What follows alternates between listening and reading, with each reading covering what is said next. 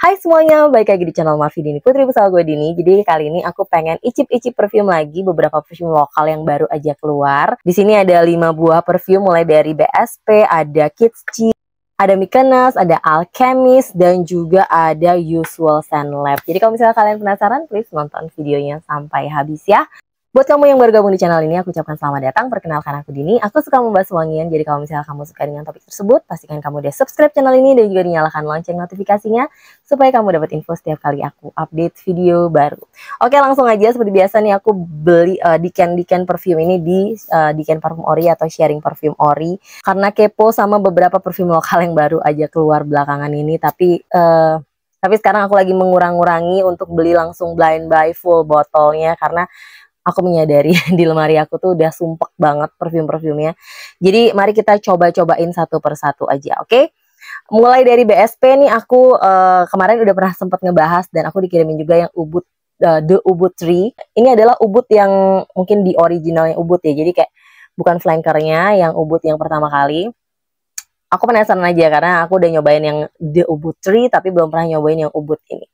Oke, dia uh, warna jusnya agak kekuningan dan ini sebenarnya sekitar setengah jam lalu aku udah sempat semprotin di sini karena pengen tahu aja uh, kira-kira base note-nya gimana sebelum kita masuk ke uh, aromanya. Hmm, enak. Ini wanginya agak beda sama The Ubud Tree. Ini wanginya lebih ke uh, fruity rosy. Ya, dia rosy lumayan berasa nih, fruity rosy yang manis gitu. Dan dia rosy itu juga rosy yang manis gitu loh dan masih berkesan fresh kalau misalnya top notesnya aku semprot. Hmm. Ini lebih seger sih tipikalnya. Kalau misalnya Dough Butri itu dia lebih uh, berkesan lebih manis gitu ya. Ini lebih berkesan seger menurut aku. Tapi ini juga enak sih sebenarnya. Uh, wanginya yang di awal top notesnya nggak jauh beda sama yang tadi di base note-nya setengah jam lalu aku semprot. Kayak ada berkesan sedikit uh, ke arah permen-permenan gitu loh enak manis asem dan ada rose-nya lumayan berasa. Ini rose-nya lebih ke rose yang ringan yang seger menurut aku. Malah kayaknya kalau dari segi aroma tuh aku lebih suka ini daripada yang the ubud tree.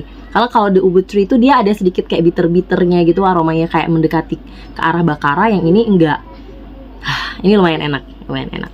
Oke, yang kedua ini adalah Kitchi yang uh, Memory Lane. Aku nggak tahu dia masih ada atau enggak Ci itu sebenarnya aku dulu pernah cobain salah satu perfumnya Kids Ci tapi belum pernah nyobain varian lain. Sampai kemarin tuh keluar yang Memory Lane ini kayaknya dibahas di beberapa Instagramnya influencer-influencer gitu ya. Buat aku penasaran apalagi dia tuh pakai aroma saffron rose.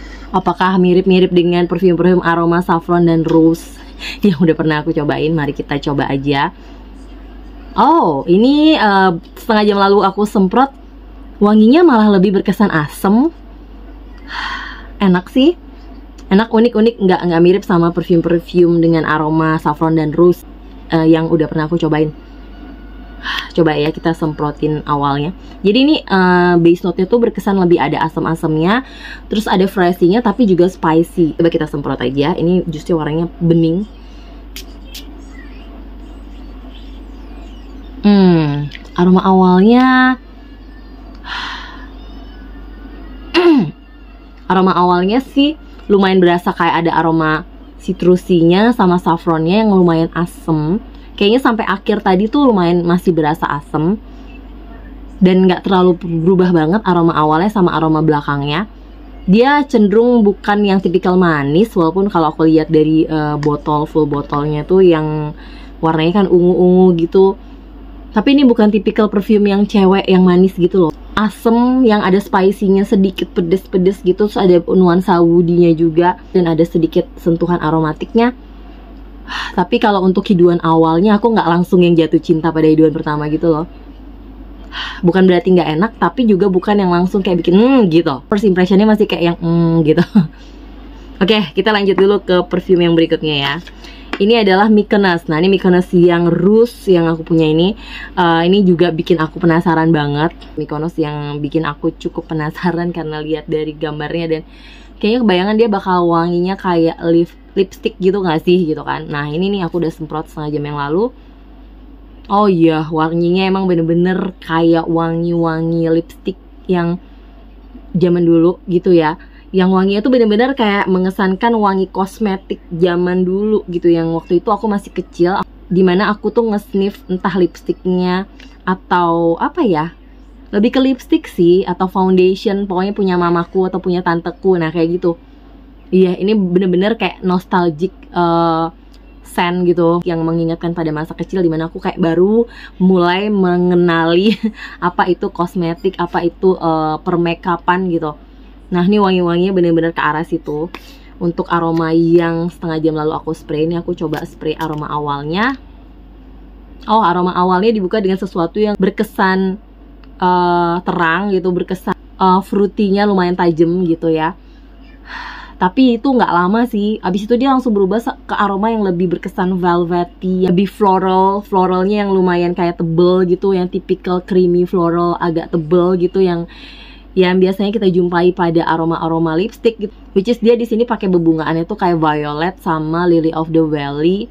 Uh, serta dia ada orisnya juga. Dengan base note itu musky. Jadi muskinya juga lumayan berasa di sini dan ini tuh aromanya menurut aku uh, cewek banget gitu. Jadi kayak mengesankan cewek-cewek yang emang doyan makeup gitu yang aromanya tuh kayak membuat kita merasa jadi cewek banget aja gitu. Tapi ini ceweknya yang lebih ke umur-umur uh, dewasa ya.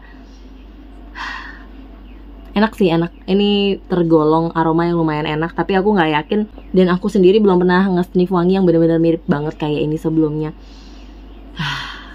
Tapi nggak sampai yang bikin juga kayak pengen beli full botolnya sih entah kenapa tapi nyicipin wangi ini menurut aku lumayan menarik sih. Oke, yang berikutnya ini juga lumayan menarik buat aku karena dia jusnya warnanya ungu yaitu Alchemist yang baru yang namanya Alchemist Galleria. Kalau kita lihat di Tokopedia-nya sekarang dia udah lagi sold out juga, tapi biasanya Alchemist emang gitu untuk awal-awal yang mereka baru keluarin produknya tuh biasanya kayak bakal cepet habis tapi nanti mereka akan restock lagi sih beberapa uh, saat kemudian. Nggak tahu beberapa saatnya itu berapa lama ya. Tapi ini warnanya ungu jadi aku tertarik banget sama si Galeria ini. Terus aku juga sempat intip-intip notesnya dia kayak ada tuberose dan sebagainya. Aku jadi penasaran. Dan ini adalah uh, yang tadi aku udah semprotkan setengah jam yang lalu. Oh wanginya bener-bener yang lumayan tipikal floral. Tuberose-nya berasa. Manis ada haninya sentuhan haninya juga berasa enak banget enak banget. Aku coba semprotin awalnya. Oke. Okay. hmm awalnya ini aromanya lebih berkesan malah jasmine banget. Ada manis-manis bebuahannya jadi ini tipikal bebuahannya juga yang manis kayak ada sentuhan wangi madunya juga sama bebuah bebungaan putih. Enak banget sih ini wanginya. Ini wanginya bener-bener yang tipikal anggun, classy, terus mewah gitu. Agak-agak mengingatkan tunggu. Agak-agak mirip sesuatu. Ini agak-agak mengingatkan sama perfumnya uh, Arma Excellus yang aku punya yang aku udah pernah nyobain aku tuh aku dikasih sama Mbak Baby jadi aromanya tuh kayak mengingatkan aku sama dupe-nya uh, Dior Jador yang lebih ke arah situ. Walaupun ini nggak persis sama sih. Ini lebih berkesan manis madu gitu loh enak sih ini enak banget. Ini kayaknya layak nih untuk dibeli full botolnya. Di mana aku punya alchemist semua koleksinya alchemist yang sebelumnya tuh aku punya. Tinggal yang ini yang terbaru nih yang aku belum punya. Dan apakah aku harus melengkapi koleksiku dengan yang si ungu ini? Kayaknya sih sedang aku pertimbangkan tapi kayaknya nih bakal kalau ini bikin aku kepikiran terus-terusan bisa jadi aku bakal beli full botolnya tapi kalau seandainya nanti aku coba-cobain dan ternyata dia emang bener-bener mirip banget sama Excelus, kayaknya aku coba urungkan niatku dulu untuk beli full botolnya. Aku bakal lebih coba lagi. Tapi ini tipikal perfume yang enak banget buat kalian pencinta floral dan ini ada sentuhan manis-manisnya kayak manis bebuahan sama haninya. Lumayan berasa. Ini enak banget. Kayaknya kenapa warnanya ungu karena kalau dilihat dari notesnya dia juga ada plumnya. Oke oke oke. Ini enak nih termasuk yang langsung aku jatuh cinta pada hidupan pertama. Dan yang terakhir ini adalah yang beberapa kali juga aku lihat-lihat. Aku belum pernah punya full botolnya dari brand yang satu ini. Ini adalah Usual Scent Lab. Uh, Dan yang terakhir yang bikin paling penasaran adalah Bergamore. Ini loh namanya. Nggak tahu gimana pengucapannya salah atau benar. Tapi yang pasti um, Di Dekan Parfum Ori pun tinggal satu mili. Jadi aku beli satu mili doang Ini setengah jam yang lalu aku uh, aku spray. Oh, wanginya tuh ah wanginya tuh jeruk banget. Uh, jeruknya tuh lebih ke yang kayak wangi kulit jeruk gitu kalau menurut aku. Jadi dia tuh kayak ada nuansa jeruk yang masih ada sedikit bitternya masih ada sedikit aroma kayak green atau daun jeruknya gitu tapi juga ada manis-manisnya gitu. Jadi ini kayak agak lumayan komplit aroma jeruknya. Dan enak. Kita coba spray uh, awalnya kita coba spray lagi ya. Oh ini enak sih. Ini enak enak enak. Um, tunggu. Agak mengingatkan sama salah satu jenis minuman beraroma jeruk yang biasanya kita temui di minimarket. Tapi aku lupa apa. Pokoknya ada salah satu entah apa Fanta jeruk ya. Tapi nggak se-sparkling itu sih. Tapi intinya dia mirip mengingatkan aku sama salah satu jenis minuman yang beraroma jeruk yang jeruknya tuh jeruk orange gitu loh. Nggak persis sama tapi agak-agak sedikit mirip nih lumayan enak sih. Buat siang-siang seger-segeran ini bakal oke okay banget. Ya bakal oke okay banget enak ini termasuk yang enak gitu. Tapi sayang ini juga kayaknya udah agak susah dicari nggak tahu apakah mereka akan produksi lagi akan jual lagi yang tipe ini Oke, okay, jadi itu beberapa perfume, 5 perfume yang lokal yang baru keluar kali ini yang aku coba-cobain bareng kalian. Thank you banget udah nemenin aku nyobain perfume-perfume ini dan semoga aja ada sesuatu yang bisa kalian dapat dari ocehan aku barusan gitu ya. Intinya kayak bakal yang menarik banget. Intinya yang bener-bener menarik hatiku banget tuh sebenarnya adalah Galeria Alchemist ini yang aku nggak tahu aku akan pertimbangan untuk beli full botolnya. Kalau yang lain-lain sebenarnya masih di kategori yang hmm gitu nggak uh, langsung yang kayak bikin hatiku kecantol aja gitu loh. Um, bergamore juga menarik tapi kalau agak susah nyarinya ya nanti kita lihat lagi. Oke okay, buat kalian ada yang udah pernah nyobain perfume-perfume yang aku bahas kali ini gimana pendapat kalian? Apakah sama sama aku atau enggak? Please komen di bawah ya. Buat kalian yang pengen aku nyobain perfume-perfume lain mungkin Buat kalian yang penasaran sama salah satu perfume di sini, pengen aku bahas lebih detail, kalian juga boleh komen aja di bawah, oke? Okay?